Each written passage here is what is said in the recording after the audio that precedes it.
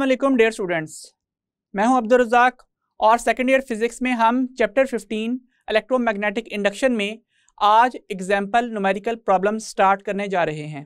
सो so, चलते हैं हम अपने वाइट बोर्ड की तरफ़। डियर स्टूडेंट्स हम chapter 15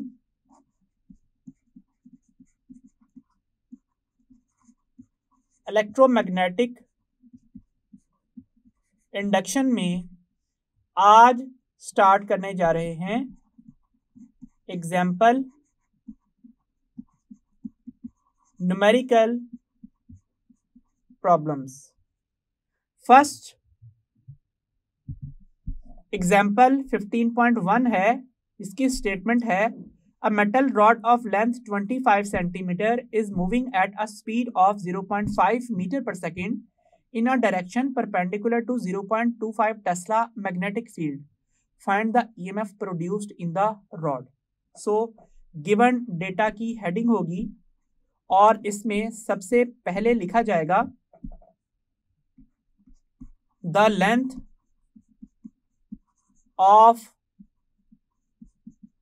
metallic rod that is L that is 25 centimetre and since centi is a prefix and it stand for ten raise to power minus two length is equal to twenty five into ten raise to power minus two metre और अगर हम decimal को move कर लें, दो points left पे तो ये zero point two five metre बन जाएगा। At a speed of zero point five metre per second so speed of the metallic rod इसके लिए v का सिंबल यूज़ किया जाएगा और इसके लिए जो वैल्यू दी गई है वो है 0.5 metre per second in a direction perpendicular और जब डायरेक्शन परपेंडिकुलर की बात कही गई है तो हम यहाँ पे लिखेंगे angle between velocity of the rod and applied magnetic field is equal to theta that is equal to 90 degree उसके बाद मैग्नेटिक फ़ील्ड की स्ट्रेंथ है so strength of external magnetic field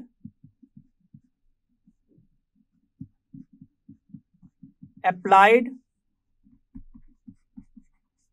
in the region is equal to B and it is equal to 0.25 tesla पूछा क्या गया है? Find EMF produced in the rod so next heading बनेगी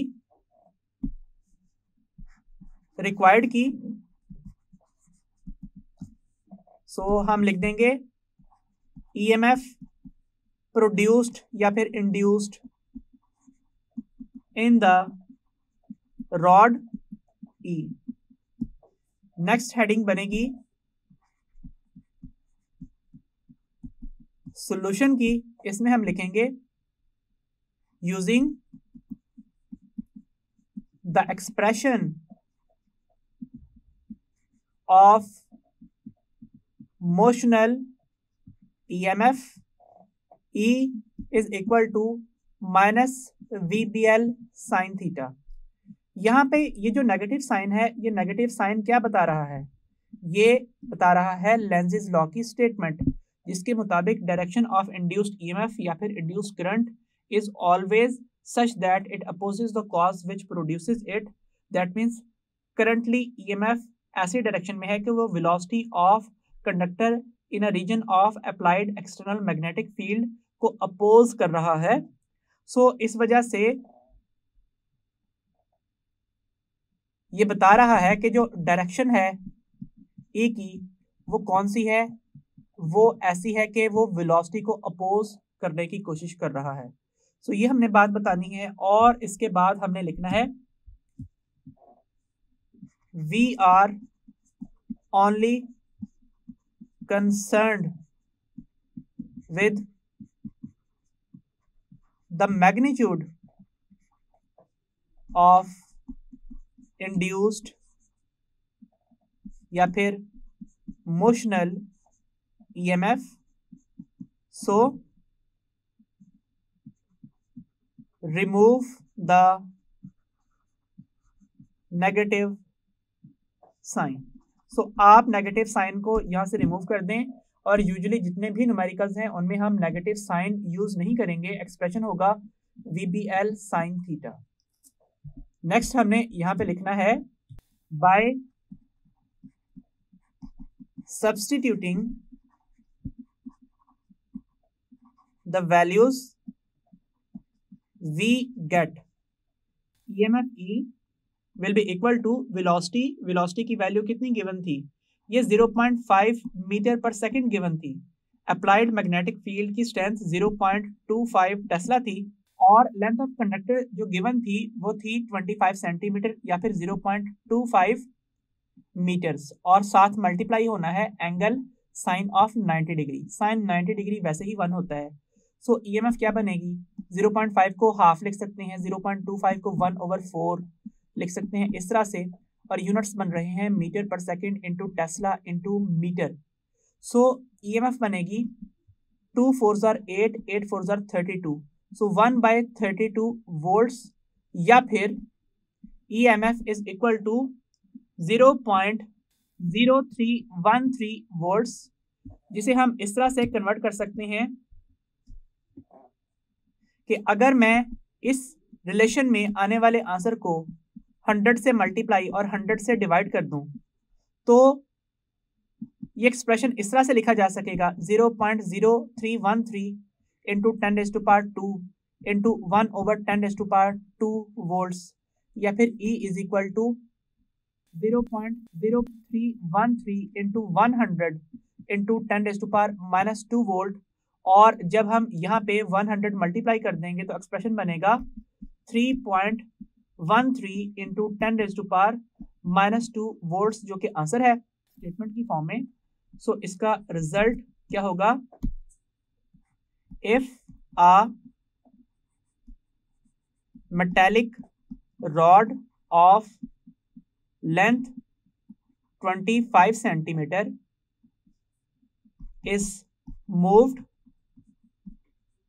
at a speed of 0.5 meter per second perpendicular to a magnetic field of 0.25 Tesla, then the EMF produced in the rod will be 3.13 into 10 raised to power minus 2 volts जिसे हम 31.3 one point three into ten to power minus three volt भी लिख सकते हैं या फिर 31.3 one point three milli volt भी लिखा जा सकता है। नेक्स्ट एग्ज़ाम्पल है 15.2 पूछा गया है a loop of wire is placed in a uniform magnetic field that is perpendicular to the plane of the loop the strength of magnetic field is zero point six tesla the area of loop begin to shrink at the rate of 0.8 meter square per second. What is the magnitude of EMF induced in the loop? So, पहली heading बनेगी given data की और इसमें हमने सबसे पहले लिखना है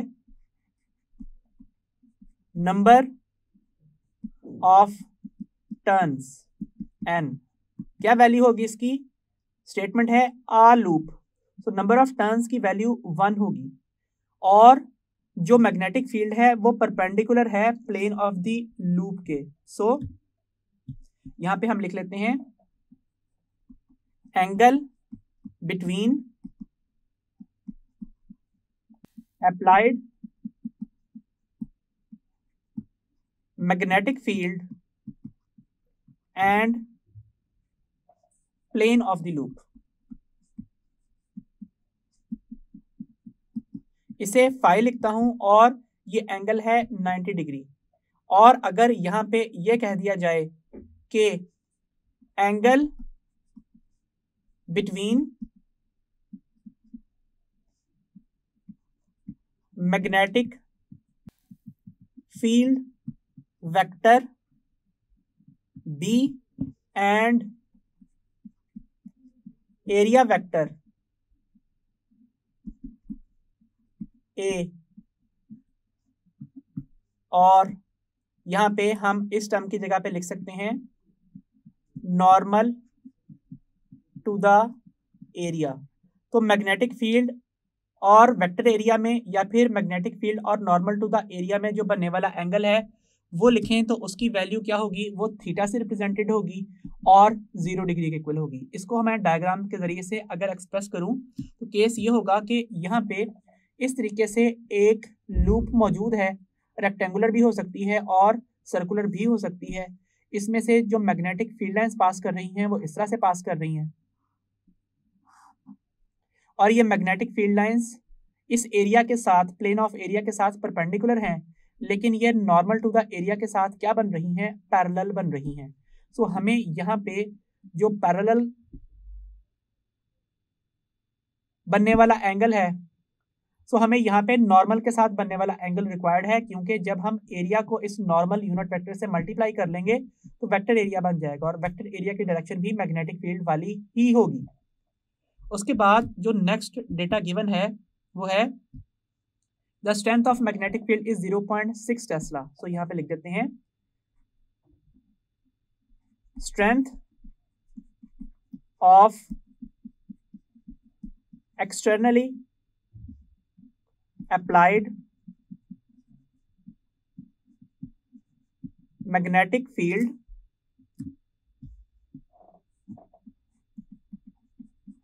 B is equal to zero point six tesla the area of loop begin to shrink at the rate of delta A by delta T तो यहाँ पे लिख लेते हैं। The rate at which the area of the coil begins to shrink is equal to delta A by delta T and it is equal to 0.8 metre square per second इस बात का मतलब यह हुआ कि अगर आप इस एरिया को स्ट्रेच कर देंगे यहाँ से पकड़ के इस तरह से तो क्या होगा कि ये एरिया थोड़ी देर बाद ये शेप इख्तियार कर लेगा और मजीद श्रिंक करते जाएँगे तो थोड़ी देर बाद ये शेप होगी। तो जितना श्रिंक करते चले जाएँगे, उतना ही इसका एरिया कम होता चला जाएगा। तो इस तरीके से इस का एरिया डिक्रीज कर रहा है श्रिंक हो रहा है। नेक्स्ट जो बात पूछी गई है, वो क्या है? What is magnitude of E M F induced in the loop while it is shrinking so heading बनेगी रिक्वायर्ड की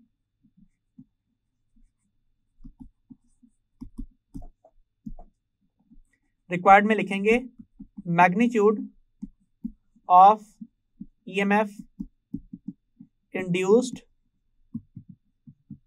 in the loop while it is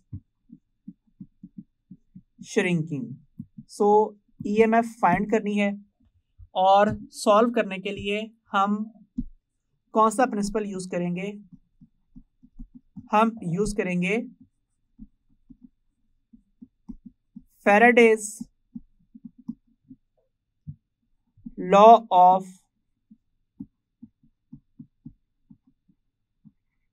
electromagnetic induction A is equal to minus N delta phi by delta T यहाँ पे भी वही logic दीजिए. Since we are concerned with the magnitude of induced EMF only remove the negative sign negative sign को हटा लीजिए हमें सिर्फ़ मैग्नीट्यूड चाहिए सो so, ई e बन जाएगा N delta phi by delta T. फिर यहाँ पे हम लिखेंगे since magnetic flux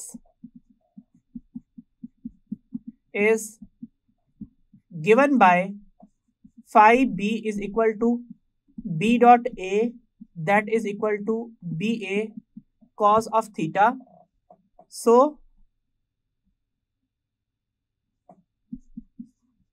equation 1 becomes equation number one क्या बन जाती है? ये बन जाती है E is equal to N delta by delta T और जिस टर्म के ऊपर चेंज अप्लाई हो रहा है वो है B A cos of theta फिर हम लॉजिक लिखेंगे। Since neither the externally applied magnetic field is changing nor its orientation that means coil rotate भी नहीं कर रही कि ऑरियंटेशन तब्दील हो जाए। So B is equal to a constant and cos theta is equal to a constant The operator delta by delta t is not applicable on b cos theta. It is applicable only on area A. So, equation 2 becomes. Equation two क्या बन जाएगी? ये बन जाएगी E is equal to N B cos theta and delta A by delta T next हम लिख लेते हैं by substituting the values we get EMF E is equal to number of turns कितने हैं? क्योंकि कहा गया है a लूप ऑफ़ वायर इसलिए नंबर ऑफ़ टर्न्स की वैल्यू वन है और जो मैग्नेटिक फ़ील्ड रीजन में अप्लाई की गई है, उसकी स्ट्रेंथ 0.6 टेस्ला है और जो नॉर्मल टू द एरिया और मैग्नेटिक फ़ील्ड का एंगल है, या फिर वेक्टर एरिया और मैग्नेटिक फ़ील्ड का एंगल है, वो ज़ीरो डिग्री है, जबकि प्लेन ऑफ़ एरिया या फिर स्केलर एरिया मैग्नेटिक फ़ील्ड के परपेंडिकुलर गिवन था।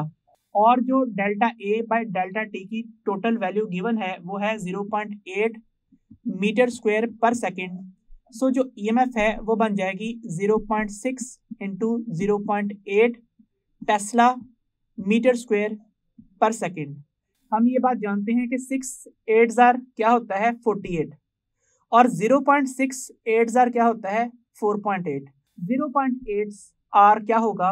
वो होगा zero point four eight so zero point four eight volt हमारा आंसर है।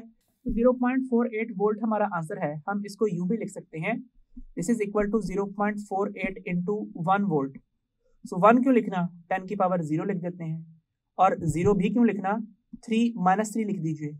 So E M F will be equal to zero point four eight into ten to power three into ten is to power minus three volt so ये जो minus three volt है इसको milli volt लिख दीजिए और zero point four eight के साथ जो ten is to power three multiply हो रहा है इसे थाउज़ेंड लिख दीजिए। सो जो ई e का आंसर है वो मिली वोल्ट में भी एक्सप्रेस किया जा सकता है और उसका आंसर होगा फोर एटी मिली वोल्ट यहाँ से हम हेडिंग बना देते हैं रिज़ल्ट या कंक्लूजन की। सो so, इस हेडिंग में हम लिखेंगे if area a loop of wire shrinks at the rate of 0.8 meter square per second when it is placed perpendicular to 0.6 Tesla of applied magnetic field then the EMF induced in the loop will be 0.48 volts that is equal to 480 millivolts. Dear students, remaining example numerical problems हम next lecture में continue करेंगे. So until next lecture, Allah Hafiz.